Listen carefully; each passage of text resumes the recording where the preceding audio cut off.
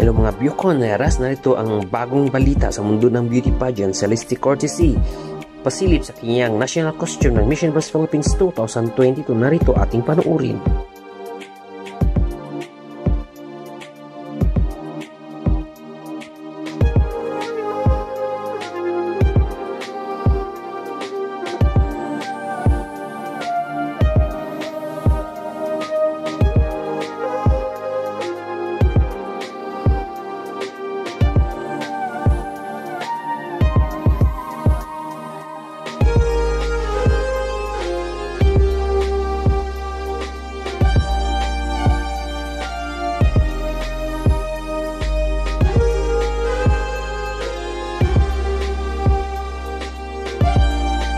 panuurin. mga Bioconeras, don't forget to hit the notification bell para updated kayo lagi sa aming mga bagong videos.